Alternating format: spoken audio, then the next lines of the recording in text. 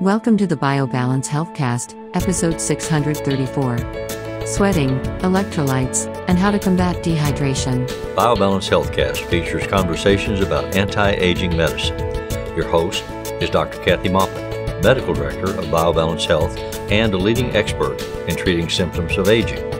Dr. Maupin is the author of The Secret Female Hormone, the seminal work about testosterone replacement therapy for women, and Got Testosterone, the award winning book for men that helps men choose the most effective and safe form of testosterone replacement. These books are available on Amazon or from Dr. Maupin's office at BioBalance Health in St. Louis and in Kansas City.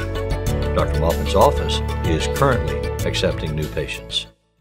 Hi, I'm Dr. Kathy Maupin. Welcome to the BioBalance Healthcast. Today we're going to talk about something that I think affects many people and they don't even know it, but it can be something that will save your life if you follow the uh, easy instructions that I give you. Now, this has to do with those of us who spend time outside in the heat during the summer, which is most of us. And, um, and it's natural to sweat, and it's good for us to sweat because our skin is our largest organ and by sweating, we're removing toxins. But with those toxins, we're removing our electrolytes. And you probably never thought about it. You've never heard about electrolytes, but it's very important for you to always have normal electrolytes in your body. I learned about electrolytes in medical school when it had to do with someone who had kidney failure or someone who had a severe illness and their electrolytes were off balance and we had to replace them or we had to water them down so that they would actually help the patient's brain stay sharp and help the patient stay alive. But electrolytes are so much more than that. They're actually little substances um, that are sodium, you've heard of all of these, potassium, phosphorus, magnesium, and calcium. And those are the, those are the main electrolytes that are required for your body to stay healthy. But for you actually to be strong, as you exercise during the summer. Um, you're not an NFL football player, but if you were, you would already know about this because NFL players and people who exercise as their career out in the heat have to replace their electrolytes and water to keep themselves from passing out or even dying. It is that important. So they use Gatorade. Gatorade was a huge, important discovery, and that was in the 60s. And Gatorade saved many of the NFL players' lives while they are sweating out in the heat. Basically, Gatorade is water, electrolytes, and sugar. And all of those things are needed when you are you have extensive exercise or um, or if you're a professional um, athlete. All of these things are important, especially if you're in the heat. Now, you may be somebody who just gardens in the heat and you and you go out, you garden, and the first 2 hours you're fine, you drink some water, you have a couple bottles of water, and then all of a sudden you just feel weak. And this is what I hear from my patients because many times patients have uh, felt this and they think, um, I'm weak because my muscles aren't working because I don't have enough testosterone which is in this case not the truth. That's not the correct diagnosis. The correct diagnosis is your testosterone is still working and still making your, your muscles burn calories and stay healthy, but they have to be fed. And to be fed, they need electrolytes. They need to have their calcium, magnesium, they need to have their sodium and chloride. And honestly, if they don't have that, they, your muscles literally become weak and you feel weak, you feel like you're going to pass out, you may feel cold, you may feel chilled, um, and that's when you need to go inside and you need to not just drink water, but you need to replace your electrolytes. Now, how do you do that? You replace your electrolytes either with Gatorade, but I, I don't suggest Gatorade to my people over 40 because honestly, it's too much sugar. I mean, if you're a young, healthy player, not a problem. You're burning off that sugar. But many people who are older actually become more insulin resistant even when they're just taking sugar as a uh, recovery kind of a, um, an element. So What I tell my patients is to use G2, which is half the sugar or less, or G0, which has no sugar in it, but still has the electrolytes and the water. And every third bottle of water should have electrolytes in it.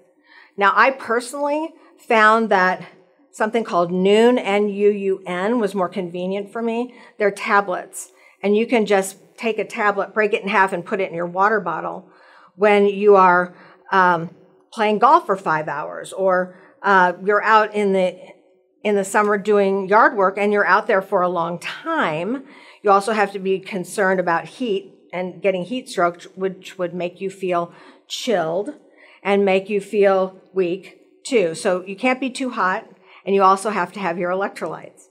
Now, when I started really thinking about this, was not because my patients came in and said, I feel weak in the summer when I'm outside, and I was concerned that maybe they had something, some big illness. Um, and I gave them electrolytes or told them to take them, and then they were fine. It wasn't then, it was when I had a personal experience with um, playing golf in the summer. Now, I don't play golf a lot, but when I do, it's usually for a charitable event, you know, where they you pay money for a charity and then you're in a golf event and they are usually in the middle of the summer. In Missouri, it's really hot and humid and it is a very sweaty kind of an activity. But it's not just golf, it's golf for 5 to 6 hours because it's a charity. So everybody's like having fun, they're talking, they're not paying attention to playing golf as much as they would if they were just playing as a competition. So I found myself drinking multiple bottles of water. And after I got to about the fourth bottle of water while I was out there, I would start feeling weak. And then the next step would, I would feel fuzzy. I was having trouble getting my words and talking. And then I started feeling chilled because the heat also was getting to me. And I had a problem finishing these events. Well, my diagnostic brain moved in uh, on this subject, and I started wondering why that was because at the time, uh, this is several years ago, I wasn't as aware of electrolyte loss as I am now. So I went back and I did some studies on it and studies in how much uh, you can lose your electrolytes, especially if you're on a diuretic, if you're on a blood pressure medicine, if you're on any other kind of medicine for um, for heart issues. That can even augment it and make it happen sooner. Uh, and you are going to need more water and more electrolytes than most people. As we get older, we need even more. So, uh, when I finally figured it out, went bingo in my brain, I finally said, okay, I'm always going to go to these events with five or six bottles of water, or I'm going to make sure I can get them. And I'm going to always have my electrolytes with me. And every third normal sized bottle of water, I'm going to add a tablet for Nuun, N U U N, which is the electrolytes. It has to be Nuun Sport because now they have Nuun vitamins, Nuun, all kinds of things you can put in water. But this is Nuun Sport with the electrolytes. Once I did that, voila, I could finish one of these five hour hot, sweaty tournaments, which was was amazing to me because I always felt like a wuss when I'd have to just stop halfway through the uh, the uh, round.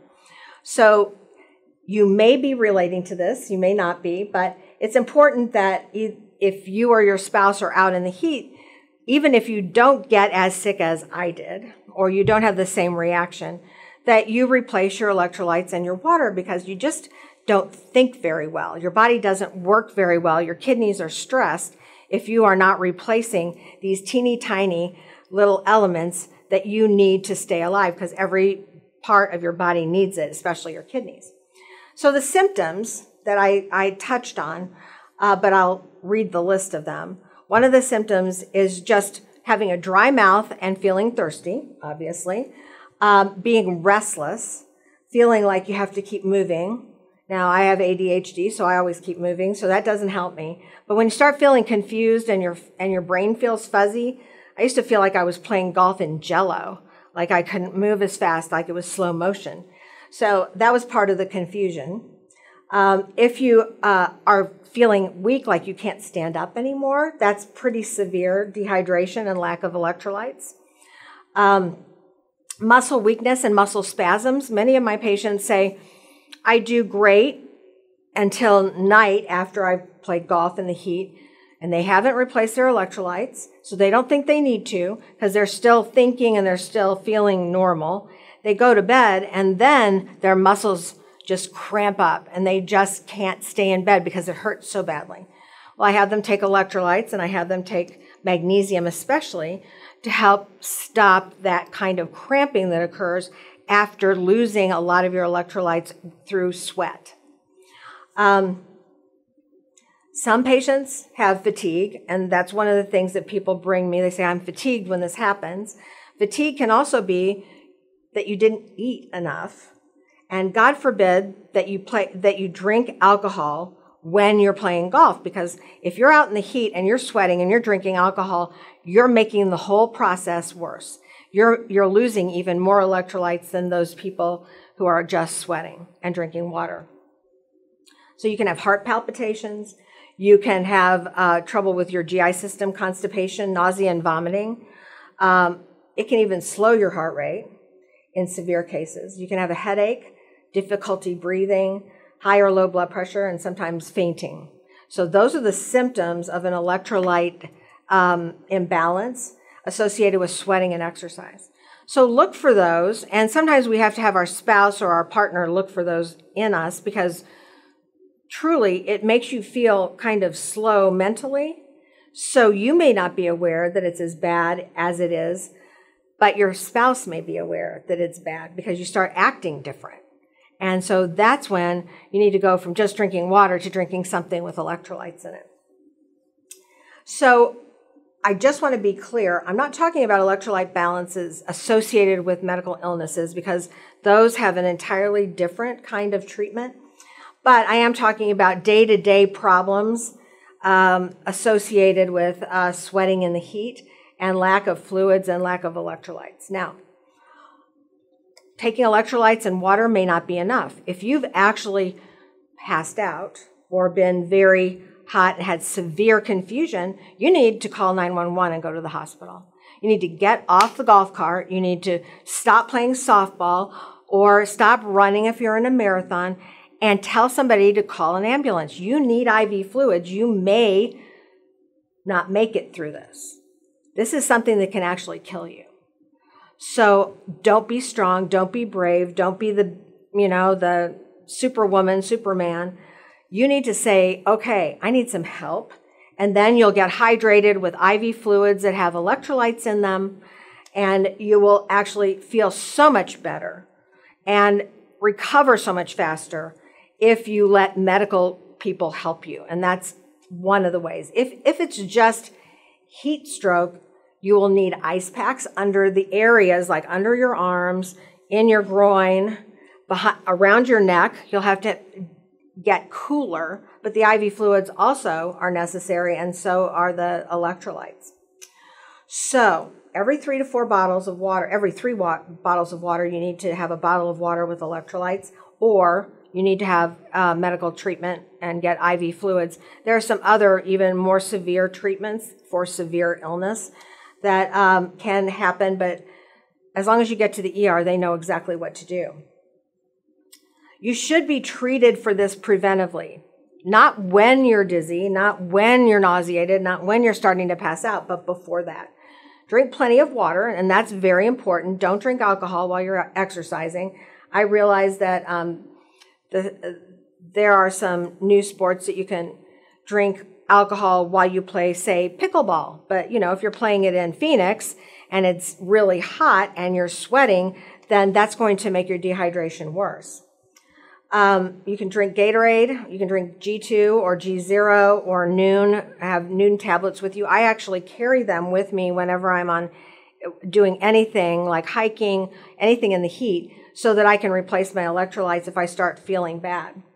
If you have the symptoms of dehydration, you're dry, you have muscle cramps, you stop sweating, um, that's severe. That's one of the things that makes you uh, that should make you call an ambulance.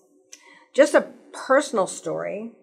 Um, my husband, who's 70, was 71 at the time, he's 72 now, and I was 67, I'm 68 now, and our best friends, who are 71 and 60, went to Cinque Terre in Italy uh, this past year. And we were in northern Italy.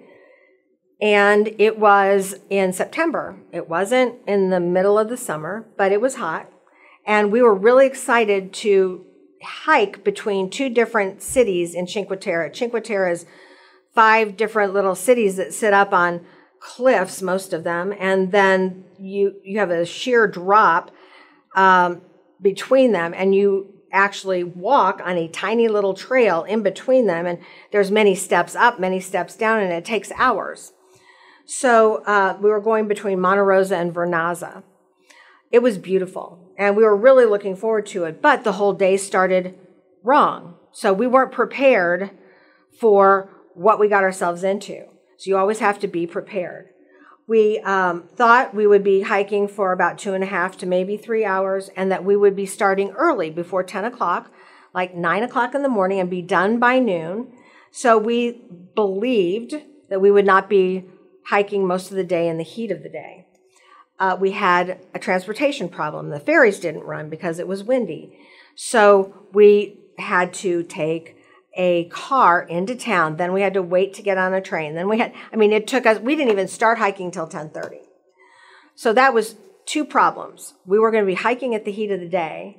We didn't have enough water bottles. We didn't think about it, that we weren't prepared for hiking at that time of day. And I did have my Nuun. I did have that with me in my backpack. But we also hadn't eaten since early in the morning because we were spending all this time trying to get to where we wanted to start the hike.